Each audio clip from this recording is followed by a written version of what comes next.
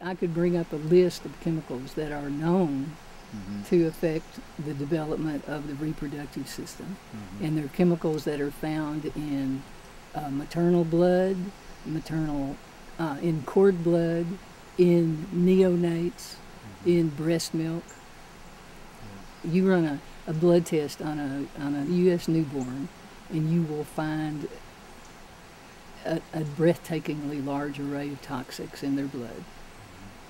So, yes, continuing to put out more is just not, not sensible. Study after study reveals the contamination of our everyday environment with toxic chemicals.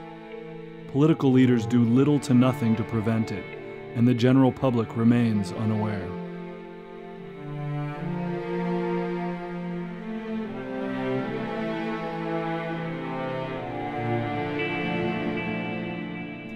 Two minute tape I did, I didn't talk about herbicides much. I talked about democracy. You know, and the reason why we're looking for democracy is because that's the only way we're going to affect change. You know, I said it was total lip service to be able to speak at this thing because nothing will happen with it. We, we, we aren't involved in the decision making. In the spring of 2010, members of an electric cooperative gathered to share their frustrations. Hours earlier, at their cooperative's annual meeting, they were not allowed to speak denied the opportunity to express their dissatisfaction, their concerns about the governance of their cooperative, especially the leadership's preemptive decision to spray herbicides without consulting or informing members. Please, sir. People here would like to continue the meeting in the form of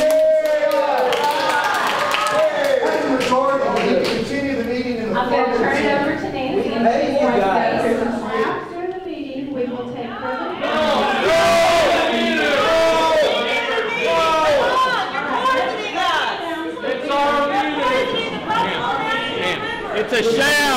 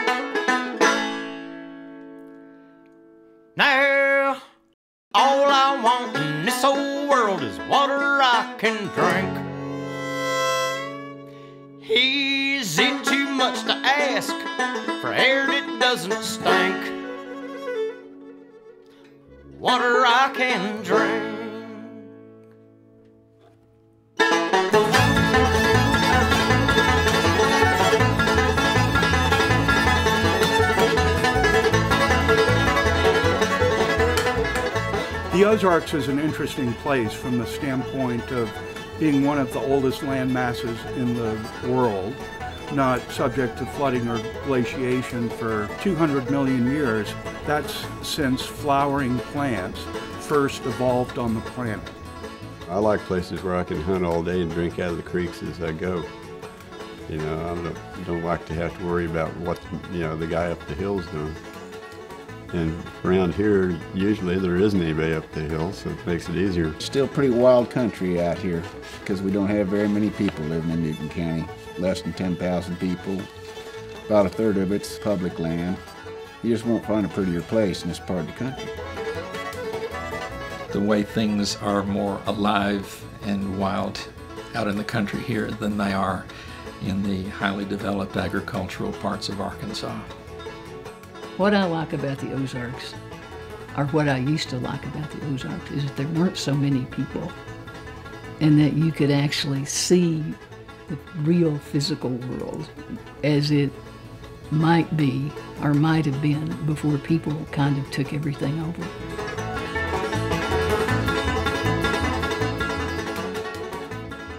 I study traditional and sustainable resource management in the Ozarks. While investigating seed saving practices, farmers informed me of this current herbicide conflict. They felt threatened by the spraying of herbicides around their farms and gardens. Many Ozarkers rely on springs and wells for drinking water. They hunt game and gather wild plants for their food and medicine. I felt that the issue deserved further investigation, so I interviewed experts and people affected. I began with Stephen Foster, a specialist on the wild plants of the Ozarks. It's kind of an isolated geological formation in the middle of the country. We have a convergence of floristic ranges here, the eastern deciduous forest, more typical of prairies and glady areas. Important medicinal plants of the eastern deciduous forest, we have ginseng, American ginseng in the Ozarks. For example, I was a keynote for the Catskills Ginseng Festival a few years ago. The wild roots they were bringing out of the Ozarks were like big carrots that took two hands to hold. Echinacea paradoxa, an Ozark endemic, and that means it only occurs in the Ozarks. Medicinal use of echinacea is for upper respiratory tract infections. Over the past 30 years, another important plant has been golden seal. And golden seal kind of emerged as a quote unquote natural antibiotic in the, the 1970s. When you spray herbicides, you kill plants. That's the purpose of spraying herbicides. There's a whole lot known about how it affects genetically modified soybeans, but there's nothing known about how it affects wild plants in the Ozarks. I convened with local landowners, environmental activists, and wildlife proponents who wanted to attract wider attention to the electric cooperative's herbicide spraying. What is your favorite plant? Uh, probably ginseng or golden seal. I've used both of them at times, you know, and they do definitely work as far as I'm concerned. On my land, I've got a lot of golden seal and a lot of ginseng and a lot of black cohosh and blue cohosh, and so I've got a lot of herbs just that, that are growing right there on my land. Like tomatoes a lot. Uh, mullein.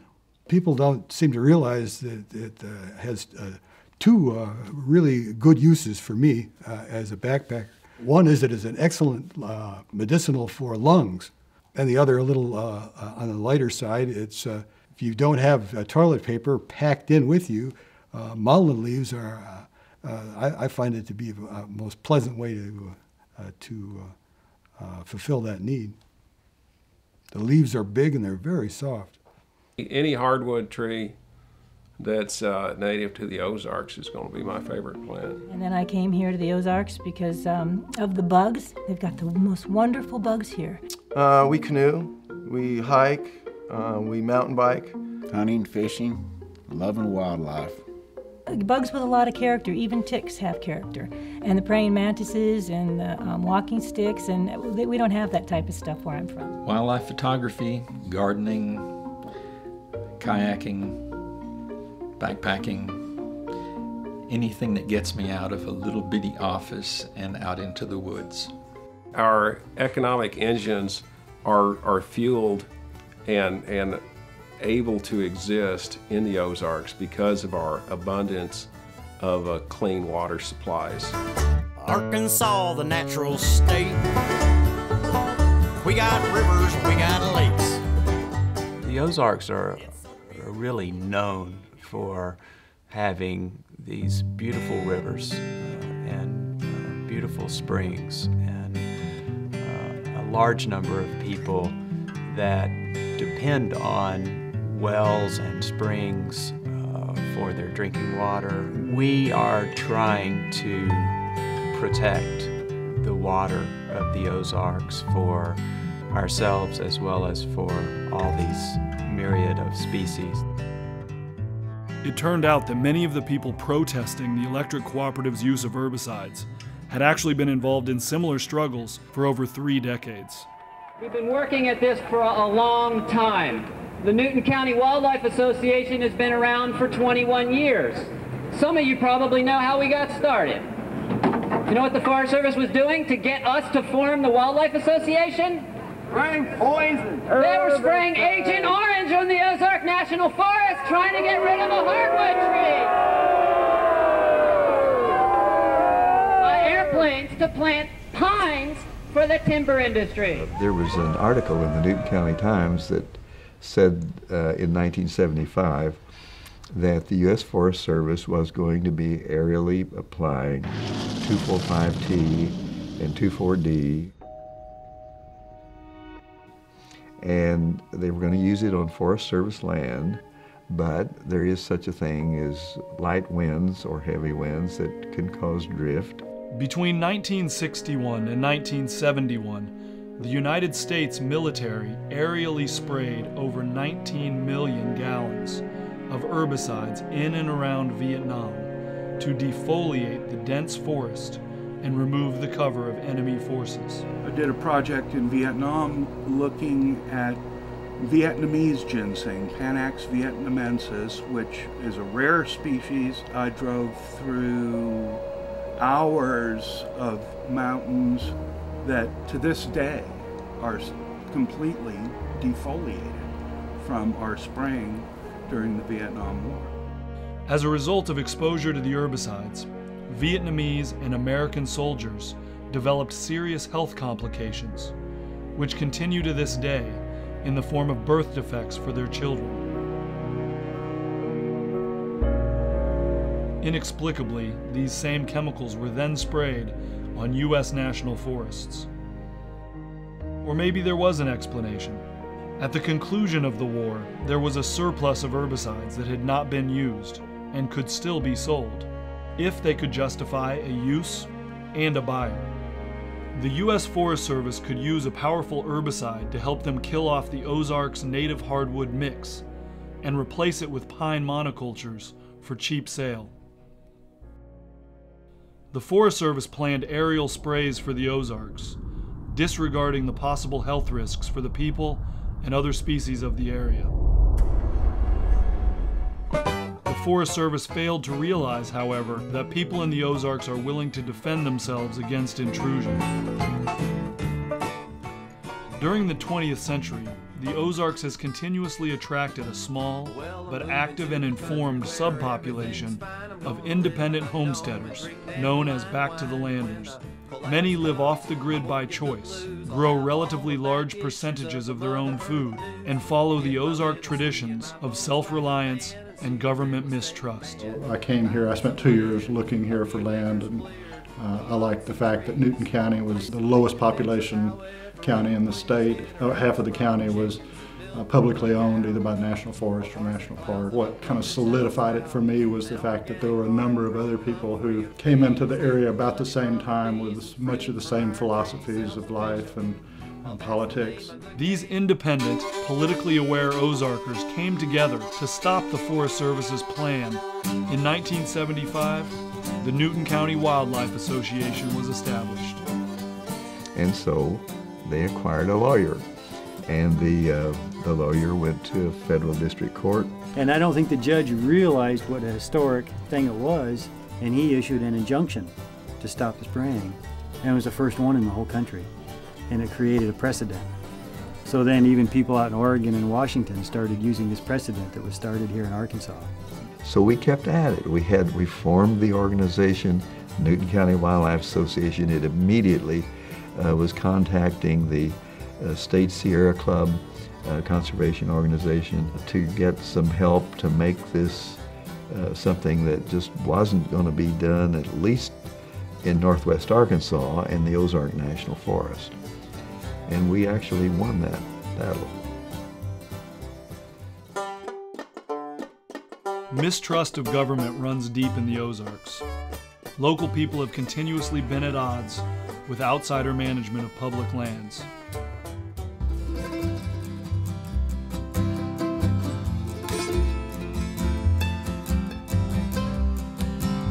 The Buffalo River, heralded as one of the few remaining unpolluted, free flowing rivers in the lower 48 states, meanders 150 miles through the Arkansas Ozarks. It became the United States' first ever national river in 1972 at the conclusion of a 10 year political battle that eventually prevented the U.S. Army Corps of Engineers from damming the river. Thomas Hart Benton, internationally renowned artist and native Ozarker, wrote to the U.S. Army Corps of Engineers. As a lover of the great scenic beauty of the Buffalo River, I would like to add my name to those others which are lined up in protest against plans to put a dam across its waters. Man, hog-tied as he largely is with the steel tentacles of an increasingly mechanistic world, and with the prospect of being tied ever tighter, needs some areas of escape, of escape to the natural world from which he came. He'll need all these and more in the future. The Buffalo River provides one of these areas. I say, and I intend it emphatically, let the river be. Sincerely yours, Thomas Hart Benton. Ozarker protests continued in 1989 when the U.S. Forest Service reintegrated herbicide use into their proposed management plans. Hundreds of Ozarkers wrote letters in response, vehemently opposed to the spraying of poisons. To no avail. It's not like they're really wanting any other opinions. It's just that they have to go through the process because they're required by law to do it. That realization came when I asked the forest, the district supervisor at the time, when we write public comments into you, you have to look at them. He said, yes. He said, but there's nothing in the law or in your management guidelines that say you have to do anything we ask you to do. He said, that's correct.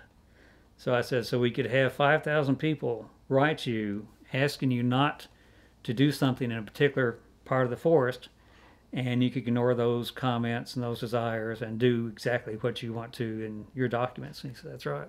Because they have set the rules up to keep your comments from really mattering. That according to the latest EPA papers, this triclopyr is a relatively new herbicide for which very limited toxicity data have been reported.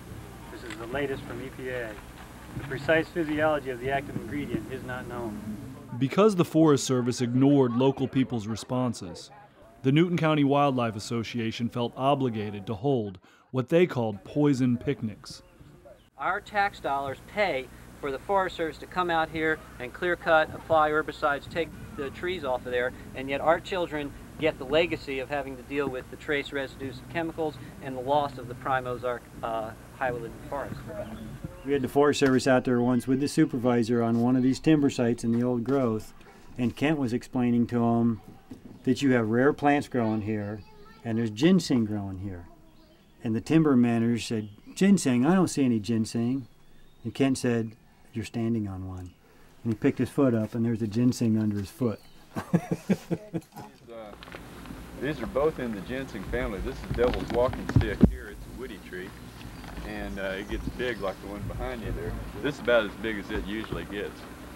But we've seen whole clumps of it out here, head high or bigger in places. I was presenting at an academic conference at the University of Arkansas when I first met Kent Bonar, and I had actually shown his film, The Naturalist, in my regional anthropology course that focuses on the Ozarks. There's a documentary about Kent, and it, it goes into his role as the naturalist for the Newton County Wildlife Association. In that film, they refer to him as the John Muir of the Ozarks.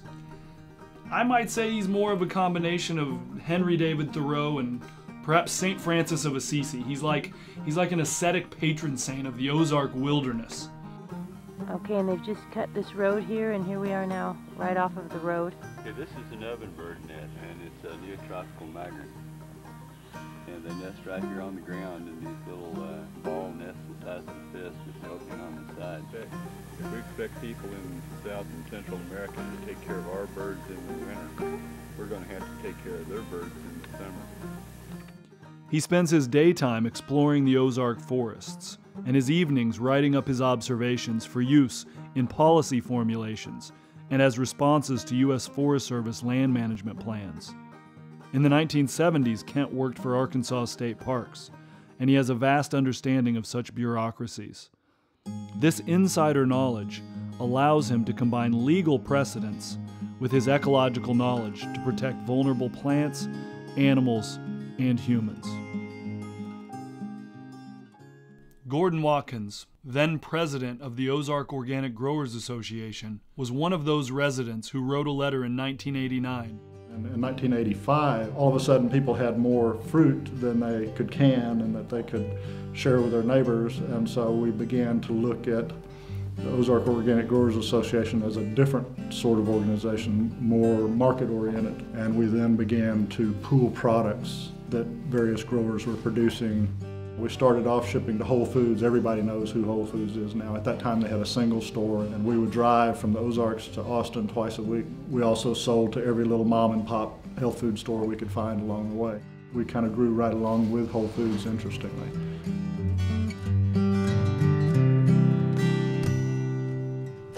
Herbicide applications are a huge threat to certified organic farmers in the Ozarks. Uh, not simply because of direct applications that might occur on a grower's property. For example, I have power line right-of-ways on my property. And I have assurances from the power company that, that my property won't be sprayed. I'm, I'm not uh, completely assured by those assurances.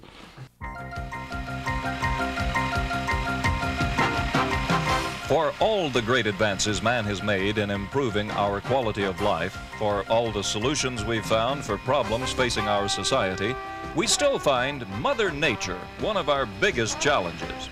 The ability to distribute electrical power across hundreds of miles or pump oil and gas across our nation in underground pipelines is constantly challenged by Mother Nature.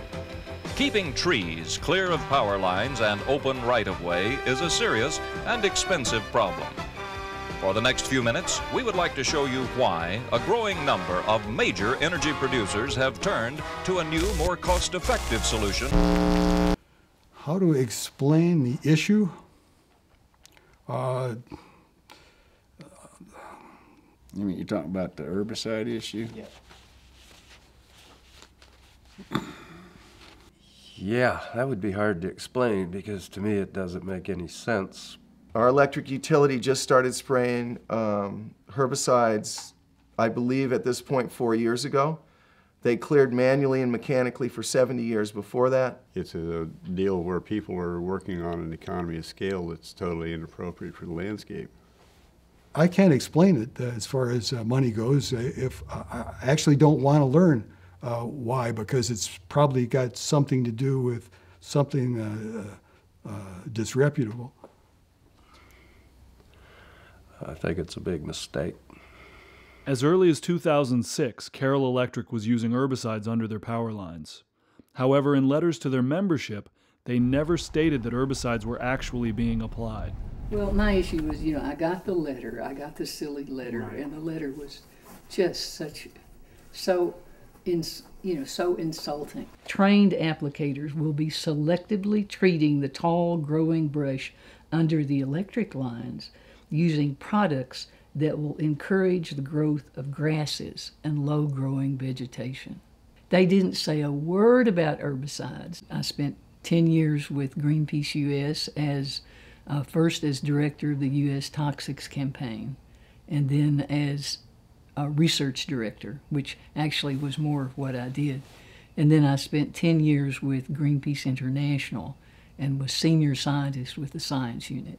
I had a series of nice meetings with Carroll Electric. I've known and dealt with those people for many Right. years. They agreed that if people would just call, that you know that they would not spray them, mm-hmm. and that was that was what I wanted to achieve. Mm-hmm. Some people down in Newton County, including Sean Porter, found that even though they called, that they still got sprayed, mm-hmm. and that was not good. he had all the manners about him. It was yes, ma'am, yes, ma'am, everything he understood, yes, ma'am, everything I said, but he didn't hear what I said. I went over with him once again the importance of not spraying the farm and the importance of not allowing these chemicals into our water streams and the pollutants that we don't need. And that's why I moved up here to get away from all that.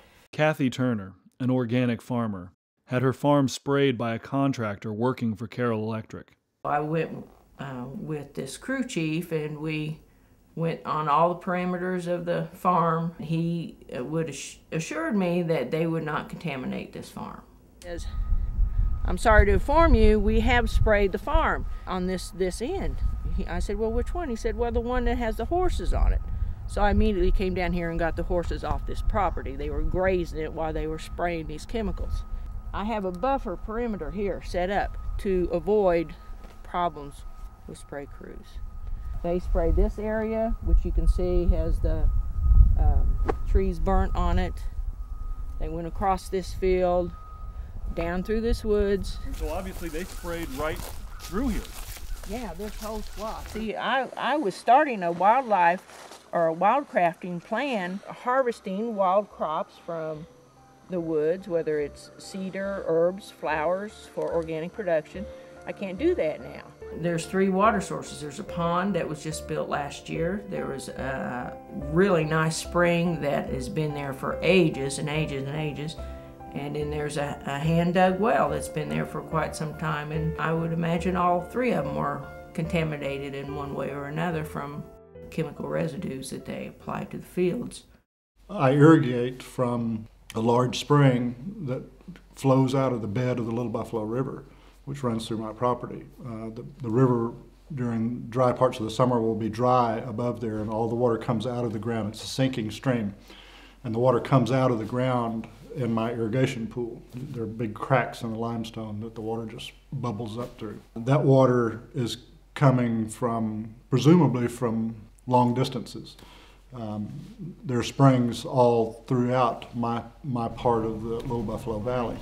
And so my concern is that even if, if my property is, is designated as no spray, if my neighbor's property, which has a sinkhole on it, is not designated the same, and that sinkhole gets contaminated with herbicides, which flow into the groundwater, that it's going to emerge in my spring and contaminate my irrigation water, and then I, I lose I lose my certification. But more importantly, I lose one of the most uh, important uh, resources that we have here, which is our, our clean water. And so that's a good example, I think, of how how fragile the groundwater is in, in this karst topography of the Ozarks.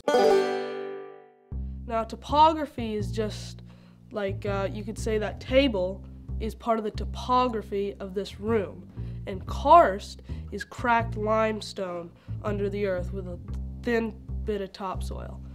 So a karst topography is pretty much where we live, sinkholes, sinking streams, caves. So it's a three-dimensional landscape developed on and in a rock that can be dissolved, like limestone, dolomite, marble pollutants of any kind car oil, herbicides, pesticides, even gasoline from changing your chainsaw oil or anything that you can think of can easily penetrate into our drinking water without any filtration whatsoever. The underground water system is just as advanced or more advanced than the water system you see here. 40% of the United States drinks water that's in a karst topography. 25% of the world, 1.5 billion people, drink from a karst topography. Me and my dad drink from a spring. Any pollutants here, it goes down shafts and into the sinking streams and goes out, it pops out in our spring. The main thing of karst is everybody lives downstream. It's pretty simple to understand. It's just the limestone, it's easily dissolved and the water can get through it. I hold national certification as a uh, forester, national certification as a hydrogeologist, that's groundwater hydrologist. My primary focus is subsurface migration of pollutants in karst areas. I've been doing these things since uh, I got my degrees, which was, uh, my master's was in uh, 62. We're a designated National Natural Landmark. Oh, great. Because the cave has the most diverse cave fauna of any cave west of the Mississippi. As we go through the cave, um, stay on the trail. I've been in here when we got a very intense rainstorm and the flow rate increased in about 20 minutes after the start of the rain. Mm. So clearly you're not getting much natural cleansing to the water if it gets into the groundwater system that rapidly. Yeah.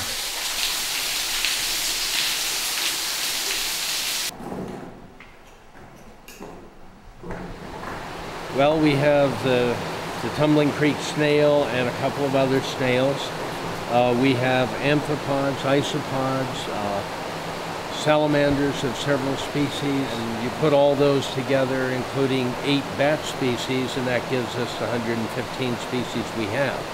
Losing streams are very important, very characteristic features in Ozark karst landscapes. A losing stream is one that loses an appreciable amount of water in a very localized area. Herbicide application in the immediate vicinity of a losing stream segment poses a much greater risk to groundwater quality than does one on, say, a hilltop or a, a hillside. When you initially set up, like to go document them at Onyx Cave, how did you, you go about setting that up? I just called them and I said, "Where y'all going to go today?" And they said they were going to go to Onyx Cave, and I said, "Well, great." Well, and I just followed them and took pictures. As you could see, I mean, they were Yeah. they were, you know, posing for me effectively. Mm-hmm. You know, It doesn't even register in their minds that they're spraying directly over sinkholes that run directly Well- into a cave. no, First of all, I got to ask you, well, how do you like the picture over there? That's the title is I Told You So. Isn't that cute? And I'm going to give you one little bit of history if- for the future, and you can quote me on this. But I think we're fixing to learn a lesson. We might have to learn how to darn socks. I was born in northern Wisconsin on the shores of Gitchigumi. That's Lake Superior, right there, right there. 1920 it was a good year. And my husband called me that night and said, How would you like to live in a cave? And I said, Buy it. Like that, sight unseen. Everybody said, Well, I, I want to come and visit you because I know you're, you're living in a cave. Well, I wasn't really living in a cave, I was living on top of the cave. I got my air conditioning from the cave and water from the cave. The water comes up through the handrail when you go into the cave. And um, it, it really was, it was a, a good setup. So we have seep holes, and, and if I use the word karst, is that all right? Yeah, it's perfect. This, this is a typical karst situation because it's all cave. Now up there, that's where the water, that's where we pump the water. Do you think that it's different because there are caves? That if you spray herbicides in areas with caves, that it makes a difference? Well, the, the contamination is general. I mean, we're all, we're not, we're not down to the Roubidoux. We're up here at the surface, and you, you can, you can put a, a bottle of bluing in this puddle, and I could find blue water next day in my cave. So this is a matter of just how long it's going to take to seep on through. We are all alerted on what's in our food, what's in our water. Why do you think people are buying water of all things? It's it's uh, the, they want they want pure food, and they they've found out that. Uh, why do you think I've lived to be 90? Because I got fresh water. got it? Do you think this this herbicide stuff could actually contaminate the water? Oh yeah, oh yeah. I and I'll have to start buying water. That that'll kill me. Do you buy water? Do you buy water? Do you buy water? He buys water. All the people that I used to have on my Christmas card list from Florida and Wisconsin are all gone. I'm outliving them all. Put two and two together. Do it yourself. I don't know. Make it up. I've always lived with my own fresh water. I- I mean, we. This is something that's just come on lately. And, you know, as I get older, I find things are going to hell faster. You know, if I could push everything back to the good old days, you know, like 1920, Um, I'm a carpenter and a cabinet maker. Actually, what brought me here was the Back to the Land movement. Um, I grew up in San Diego, California, and I was uh, looking for uh, getting back to nature. And uh, the Ozarks provided that. It's an amazing secret that's just starting to get out now that it's pristine, it's, it's still clean, and it's uh, what we're working on keeping. I do carpentry work out. I've built several houses. I think I'm old school in that it's, for me, it's about quality. I'm incredibly passionate about not using herbicides. It could reflect back to my livelihood if I choose to leave here because of the pollution. I came here because it was so clean. This is our spring. Without it, basically, we couldn't live here. There's no other water supply. We'd have to haul water. So we really want to keep it clean. We, we, we're not interested in it being polluted. It does matter what other people do on their property. We all live downstream. It's important that we all pay attention to what we do, and it's important that the bigger players like the power companies not use pesticides in this area because it's a karst region. You know, this is the first environmental activism, if you want to call it that, I've ever been involved in. It's, it's not my forte, it's not what I want to do but it's in my backyard and it became so obvious and so necessary that it was time for me to, to walk my talk. One of the arguments that's being used for herbicide applications underneath the power line right of ways is that they want to create a, a park-like environment of grasses that will not threaten the, the power lines. I think there are some real concerns about the effect of of the herbicides they're using and how far they reach outside the easements that, that they're treating. With the herbicides, you will often have root grafting. One tree is connected to another tree in effect through the roots. And with sensitive species, you can kill a tree over here in the right of way, and that herbicide will then end up going through the root. So it's not just drift that can kill them. If the herbicide impacts you know, the roots of the trees on both sides of it, you can see how tall these trees are relative to the line. So you're going to have branches from both sides that are going to be, you know, falling into that line for, you know, years and years. It's just going to increase the maintenance really big. Until there's no trees left, then I guess it'll level off. Rural electric cooperatives in other parts of the Ozarks have started using herbicides for their power line maintenance.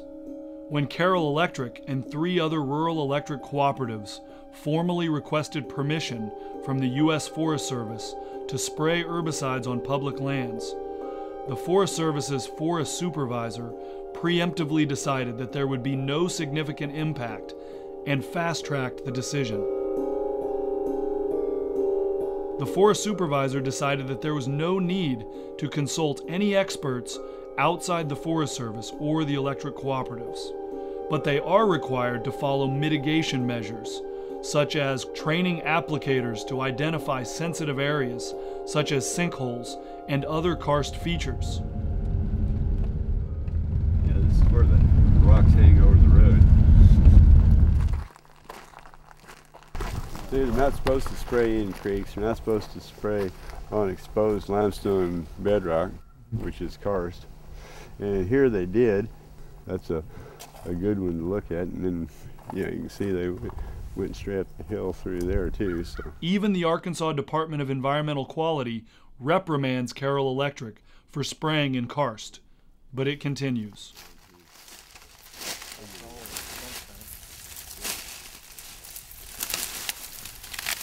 yeah, this is limestone we're on now. And you can see how it's kind of a different type of rock. It's a little bit more rounded edges. Uh, you know, the spraying's definitely what impacted because everything up here is in good shape. But this is pretty good contrast, just having this one little DMZ swath through the middle of what's, you know, otherwise looks great on both sides. Applying herbicides only when wind speeds are low and no precipitation is in the forecast. I ain't talking to you on that. That's silly. We're doing our job.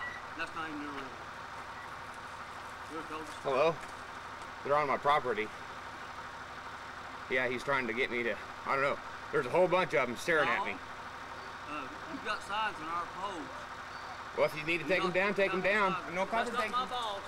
I'm not No, it's my wife. No, I said you come out there with a gun. I didn't know. And it scared them boys to death. They thought you were going to shoot them. Good can run for- I don't want you to let me. Good luck.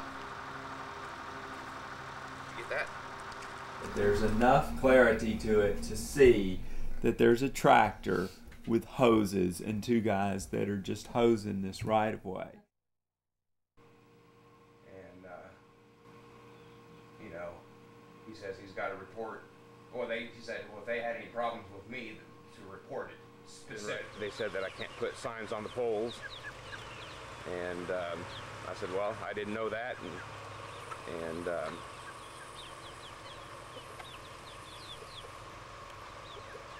that's a big stream.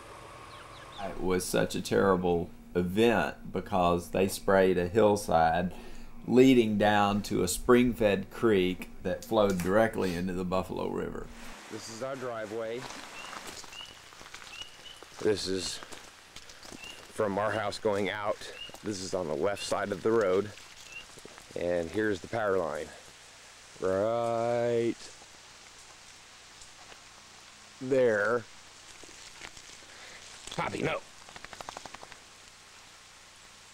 See that? I'm worried about my dog trying to get dr a drink of this water. This is, uh, I think, runoff, and you can see the uh, oily spray they put down right here. It smells really, really bad. And this is on the right side of the road. Poppy!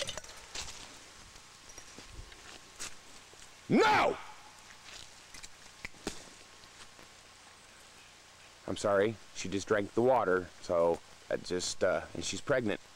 And his dog drinks from one of the puddles, and his dog was pregnant and miscarried all of her puppies within like 48 hours. So that they basically killed all the beauty down here. And they said there is absolutely no runoff. It sticks to the plants. And then a few days later, the husband's out there videotaping the runoff during a rainstorm.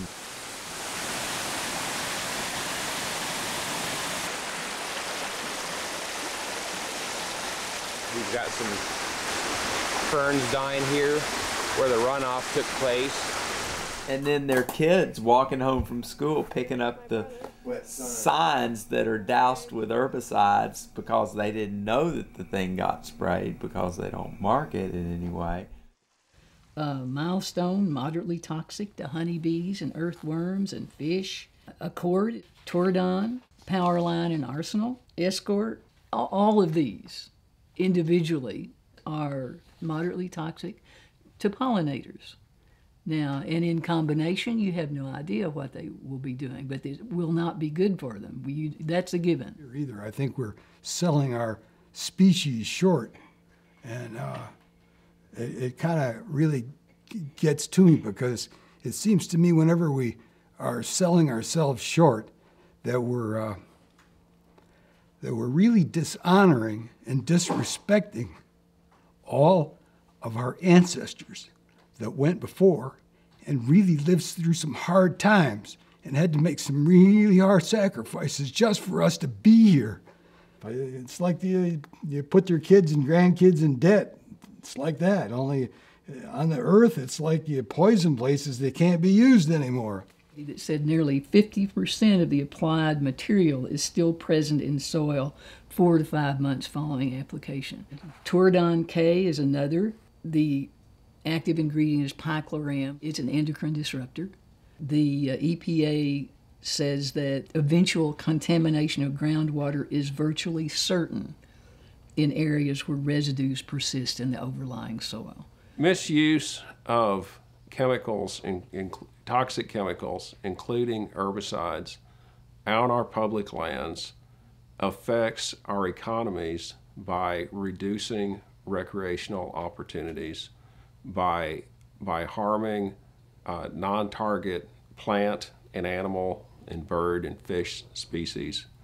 And, and we, we shouldn't do that. We have to be very, very responsible when we're introducing toxic chemicals into our environment.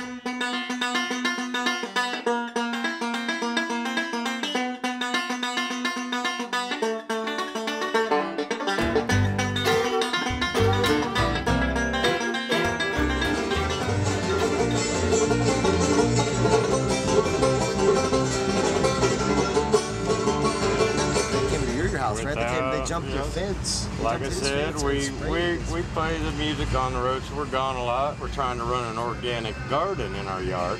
And they just hop my fence, spray their poison, and then move along. Not cool. No, yeah, I know in Texas you can shoot someone on your property. I, yeah. I don't know about Arkansas, but. I went to the grocery store. I said, where do you keep your beer? They said 40 miles from here. I'm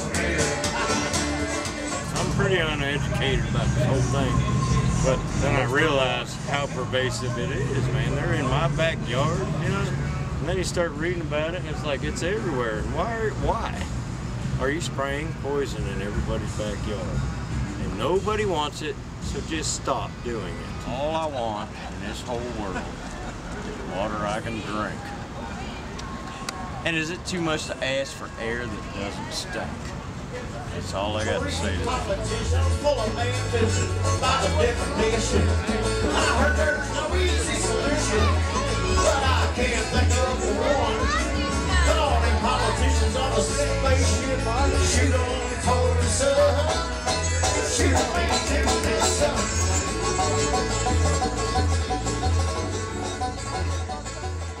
To me, what y'all are doing is counterproductive. There's been progress made.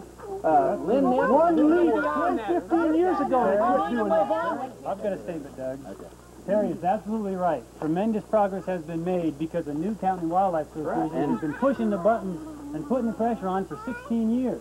The And Arkansas it's not because we sit back been and wait, it's because we keep putting the pressure on and telling them what's going on. And many of your efforts on this issue are going to cause a backlash from other folks in the timber industry and all, and you're going to lose many of the things we've gained right now. These demonstrators want the Forestry Service to stop the logging in the national, the Ozark National Forest, in a watershed area for the Buffalo National River.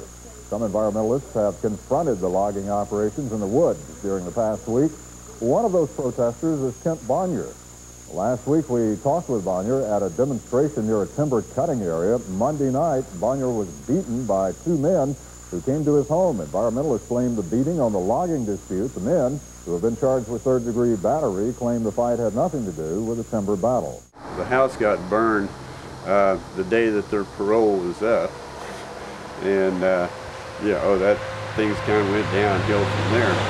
So I, that's why my place is like it is now, is because the house is gone. And, uh, you know, I'm having to make do with a, you know, with a trailer I got from a friend. Well, my, my other house was burned down in 91 Is that right? by arsonists. There was a house sitting right there. Or what he had heard was that you were against incineration of Agent Orange. I, I had the largest library of technical information on incineration and related issues, you know, that anybody had. I know. The office burned at temperatures several times that of a normal house fire. They were on site for 15 minutes, and one of them came over and said, Miss Costner, did you have a fuel can in the middle of your living room floor? You know, the most truly pathetic, heartrending thing of it was it was all my children's, Yeah. all my family pictures, all of them. I mean,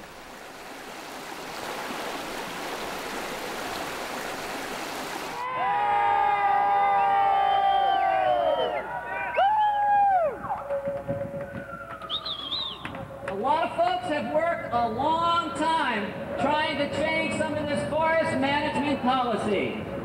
We're ending up here today. We've worked in the woods, we've worked with the foresters, we've worked with our legislators, we've talked to the public. Now is the time to make it a big issue and get some changes made immediately. Now! Well, people have dealt with nature and growing things and dealing with the natural world without herbicides for 99.99999% of human um, culture. So just recently, we have been inundated with the use of chemicals to try to control our environment, and I'm totally convinced that it has to do entirely with one thing, money. There's profit to be made in using them and making them and power to be had, and that's why they're Who these used. forests belong to? Oh.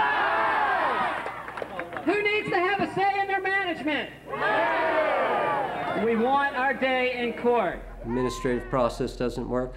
The legal process is skewed. We've been to federal court. It's not a fair court. Make them pay through direct action and public outcry. Members contribute equitably to and democratic and democratically control the capital of the cooperative. So they're just saying what a cooperative ought to be Yeah. and how um, uh, and Carroll Electric uh, falls short on probably most, if not all, of those. What they're, what they're wanting to do now, if you sign off on this, is you are relinquishing your your property rights. There is no liability to them. We are not a co-op. We have been co-opted. We have been cut out of it. You now have a private corporation run by the board members who elected themselves for seven years. A U.S. senator only elected for six. Will you join me in prayer? Dear Heavenly Father, we come to your throne of grace, Lord. Electricity is everywhere, driving opportunity, contributing to the quality of life we all enjoy. Lock it out here. From these humble beginnings, Carroll Electric, serving 11 counties across Northwest Arkansas and Southwest Missouri, has emerged as a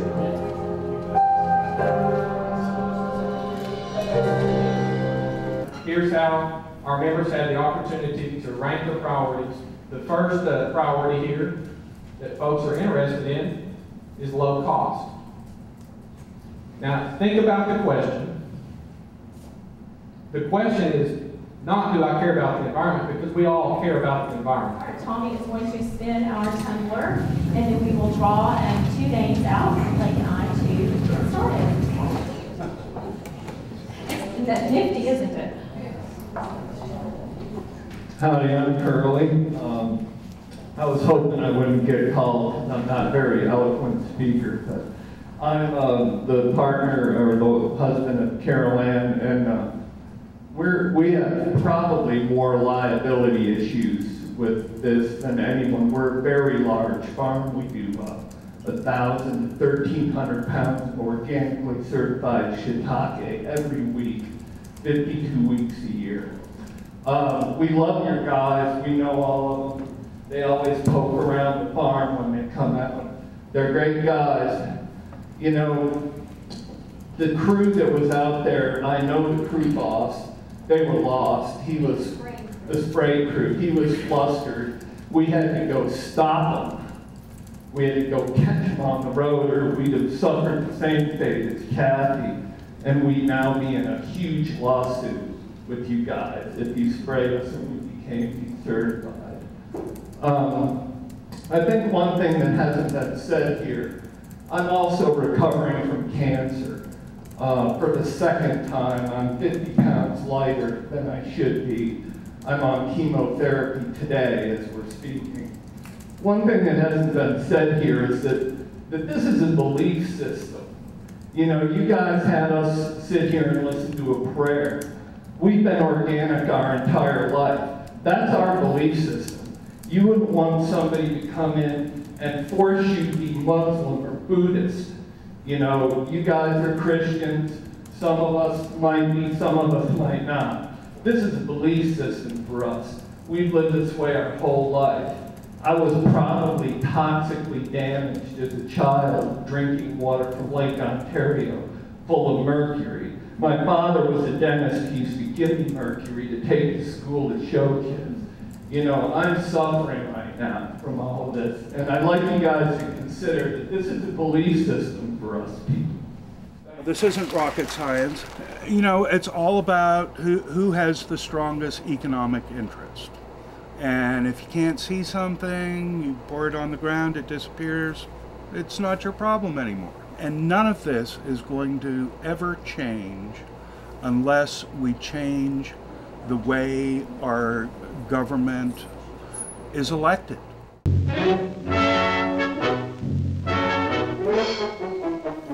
Any true co-op is actually run by its members.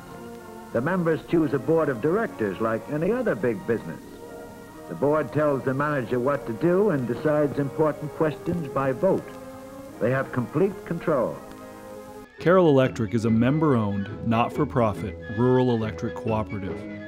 These cooperatives came into being in the 1930s through the Rural Electrification Administration. I hear there's a new kind of power government. That's right.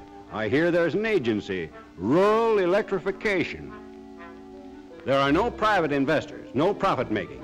You get power at cost. When the loan from the government to your cooperative is paid back through your electric bills, you and your neighbors will own your own electric system, your own lines. The Rochdale principles, upon which cooperatives are based, state that cooperatives are democratic organizations controlled by their members, who actively participate in setting their policies and making decisions, and that elected representatives are accountable to the membership.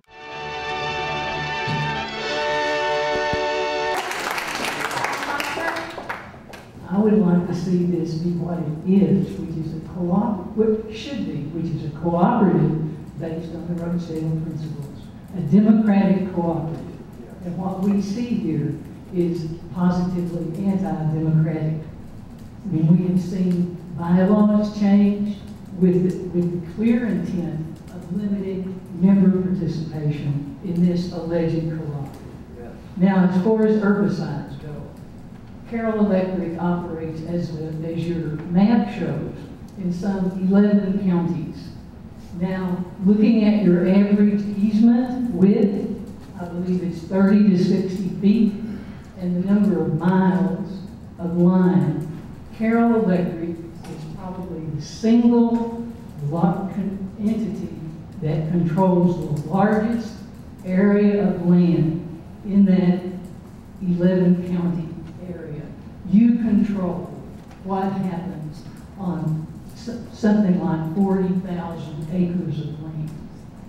Now, if a significant portion of that it is subjected to herbicide use, you will be using an enormous amount of herbicides in what is almost surely entirely karst terrain, where the, where the groundwater is known to be extremely vulnerable. Now, I'm a scientist. I looked at the Thank you, details. Pat. Thank you. Uh, The next one is Kim Jones. We really don't know a whole lot about the toxicities of the, the indi- individual ingredients. We know virtually nothing about the mixtures and what Progressive Solutions is doing under contract to Carroll Electric is applying a mixture of at least three of these herbicides So before you could call and, and request to be put on a do not spray list, but now their response to all this public outcry about it has been to make it harder to get on a do not spray list. And now they have this um, form that you have to fill out and it has to be notarized. You have to have a, a, a copy of your deed attached and it says, when you apply to not be sprayed, it says the property owner understands and agrees that CECC may make reasonable effort to honor the request or CECC may deny request. However, in any event, there shall be no liability incurred for either CECC deliberately or unintentionally exercising easement rights. So now you have to say, oh, please don't spray me, but if you do, I'm giving up all rights to sue you for damages. And it says that requests to deviate from integrated procedures must be received at the cooperative offices by June 30th to be considered this year. If you have questions, please contact the cooperative. Well, we've talked to, to several people who, who don't even know what that means. Requests to deviate from integrated procedures. Well, and Um, I've spoken with three neighbors in the last few days who don't, who didn't understand what it meant. Thought that all they had to do was put up a sign and they wouldn't be sprayed. And I, I asked my 80 year old neighbor up the road if she would be willing to, to sign up for no spray, and she is she's really concerned about herbicides and doesn't want them used on her property. But when I explained to her what was required, she said, "Oh, there's there's no way I can do all that," and she didn't understand what had to be done. And once she did understand it, it was it was totally overwhelming to her. And so most people. I think will either not know what has to be done or they they won't be willing to jump through the hoops that Carroll Electric is requiring. And I think that's intentional. I think they're intentionally discouraging people from from participating in the exemption program. By signing the agreement, you waive Carroll Electric of any liability for accidentally spraying. Uh, wh- why is that? I mean, why would you ask members to waive their liability, waive the liability? Well, an, an easement grants us the the uh, the right, so to speak, to maintain that power line, and, and landowner has granted us that easement. Okay, um, we uh, we need to re- rephrase. Well, I'm does it- sorry. It'll be quite as nice as the rest of y'all have are. Uh, my farm was accidentally sprayed by Progressive Solutions eight months ago.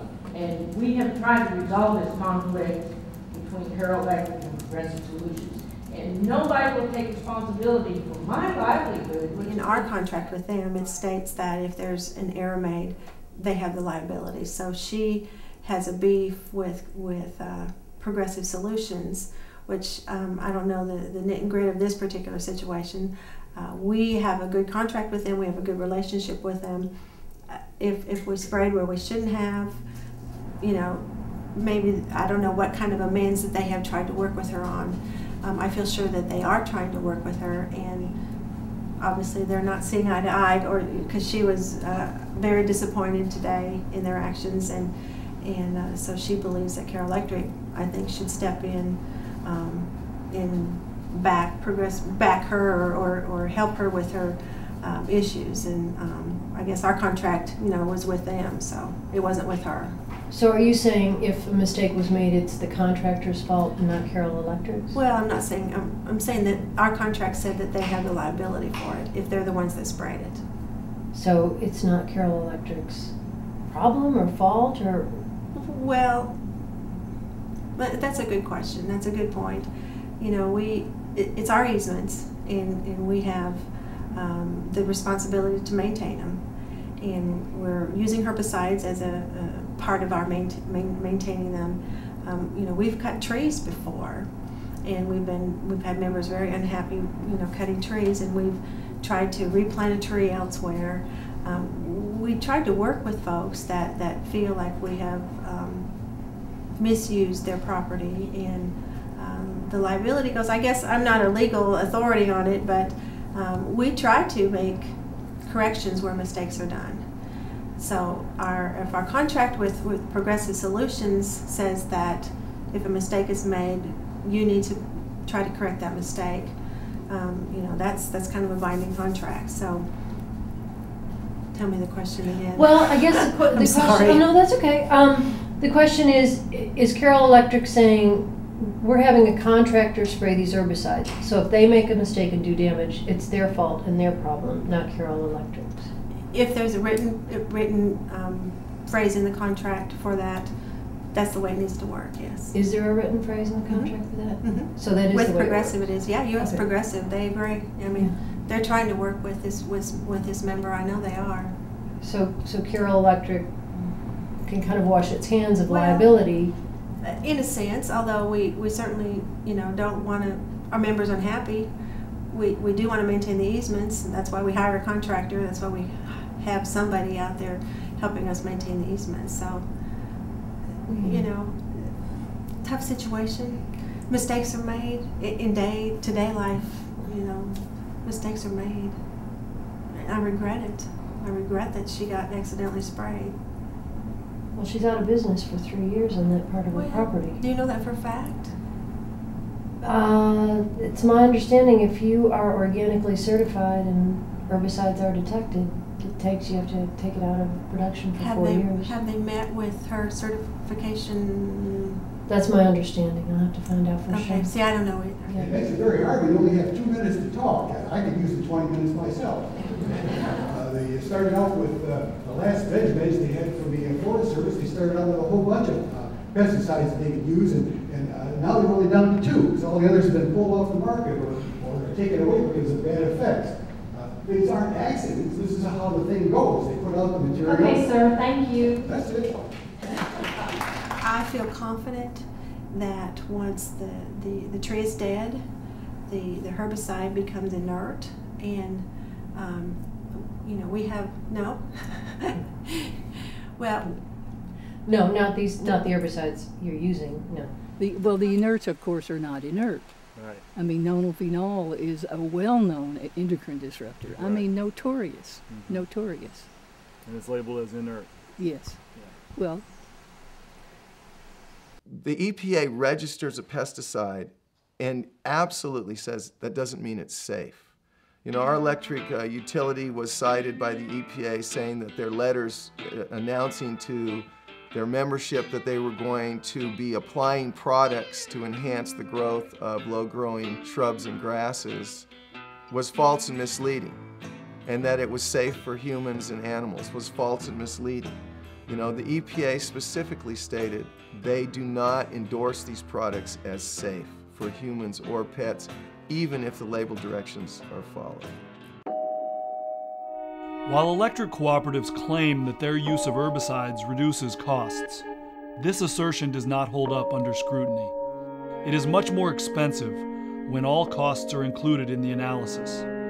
The costs of compliance with EPA label requirements, the costs of insurance for possible injury from exposure, training spray crews in the science of karst geology, walking each organic farm's fence lines to document where not to spray, contacting each household who requests to not be sprayed. They're putting all this uh, stuff in the notification letter they send out to everybody, which actually costs $40,000 to send out a notification letter to everybody just because they're spraying the herbicides. They're not factoring in the hidden costs of contaminating an aquifer, for example. Those are called externalities, and economists don't deal with externalities. Those are hypothetical questions that you can't put a dollar amount on, and so they ignore them. Okay, I think we are ready now for Nancy. I've got to say something before this gets started.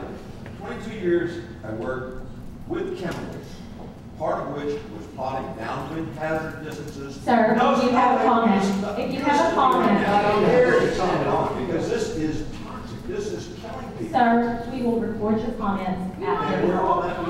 Here, in- here, we will. Right here, this is part of the No. People here would like to continue the meeting in the form of That's the majority, we need to continue the meeting in the I'm form going of to turn it over to Nancy. and Hey, you before I guys. say- After the meeting, we will take further.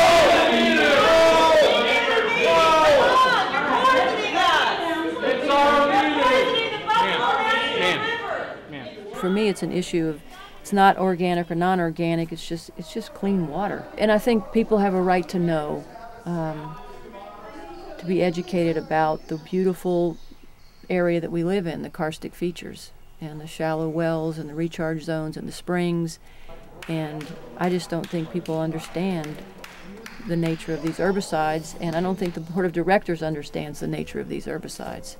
So I think people just need to be more informed. And I think once they are, and if they if people were told what type of herbicides were being sprayed, and to the extent that they're being sprayed, I think people would have a different different feeling about this. Because I think hmm. most Ar- Arkansans love the Ozarks, and they do anything they could to protect it. This issue is not limited to the Ozarks. In fact, electric cooperatives are aggressively applying herbicides throughout the United States.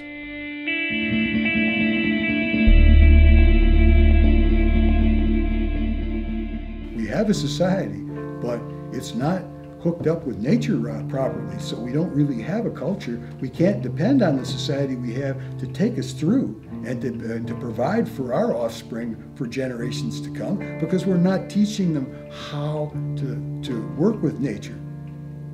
If we were, we, we would, there would be a lot more hope. There would be a lot more happiness. There'd be more music and singing. It would be a, a, a better place to live. We wouldn't have to protect our children so much from the from the chaos and and and, and corruption that that the uh, a society not hooked up to nature brings. Everything is hitched to everything else in the universe. And this is a, a part of that pattern.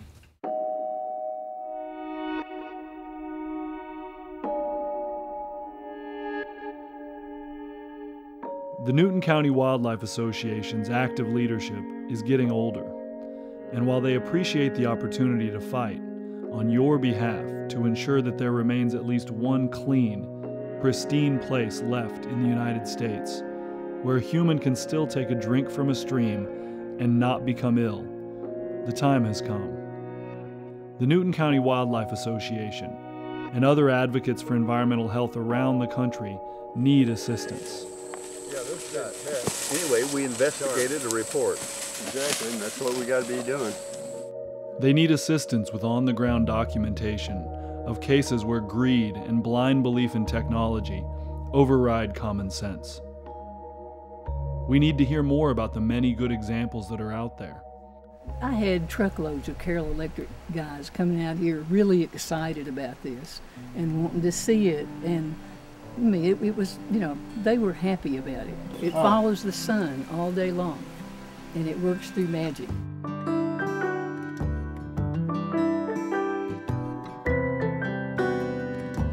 I really think the changes that we need to make as, as a species, you know, have to begin at the individual level. Mm-hmm. I really do. But I don't think the majority of individuals are willing, able, or ready to do that. But you have to be willing to be an e- example and to show people that it's possible. I think the bioregional movement has the answer. Okay, what is the nature of our natural region? How do you define it? And what would we do here in order to live sustainably? That word sustainability is really the root of what the bioregional idea is all about. We have the trees, we have the water, we have this wildlife, we have this soil that the forest made. How do we figure out how to live here indefinitely and not destroy the place? That's all it is. It's just common sense. And it just so happens that following how nature would manage the land is the way that we need to imitate. You know, on the forest that I manage, we don't use any biocides. I don't believe I don't believe in, in, in the use of it uh, because it is it has unknown effects. In forestry, it's called vegetative management. We are thinning the forest, and we're doing it mechanically, uh, by hand. We don't make selection of trees that we cut down or thin on based on commercial criteria. We do it in order to enhance the health of the forest, which over the long period of time we believe is a is a good economic decision. Water sculpted this whole thing, created this whole thing. The soils we have are mostly created by the forest. It's called the forest soil. The forest is what we got here. The forest loves it here. Oak loves it here. I don't know why. You cut down the forest around here and the oaks come up. You can see it on maps, and it has its own culture. There's not really a Missouri Ozark culture and an Arkansas Ozark culture. And why is that? Because the bioregion itself influenced how people live and how they have to live. 100 strong block a lane of traffic outside the federal building to show just how serious And even if mainstream media and politics prevent widespread sustainability, there are just so many more rational ways of controlling vegetation than spraying poisons. You could use livestock to clear. Goats will eat anything. For thousands of years, farmers have used livestock to clear overgrown, unwieldy sections of land. You could have useful wild plants like echinacea that grow in the region naturally, propagated in the right of ways. You could have low growing fruit trees and shrubs like blueberries, or bike and ATV trails. And of course, they could always maintain the lines as they have for over 70 years with manual clearing.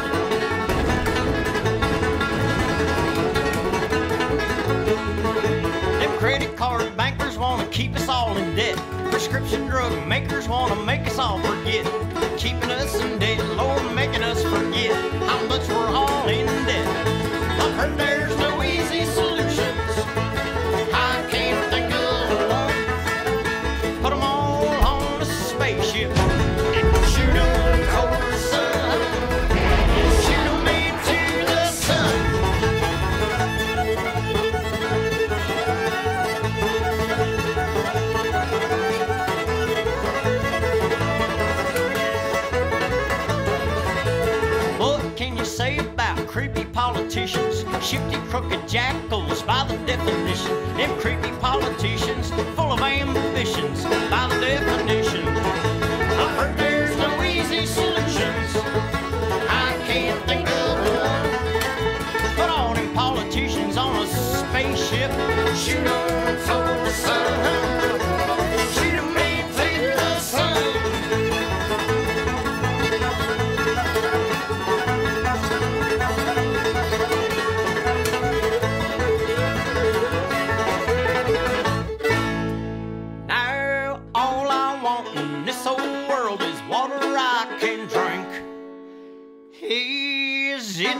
much to ask for air that doesn't stink? Water I can drink, Lord, air that doesn't stink. Water I can drink.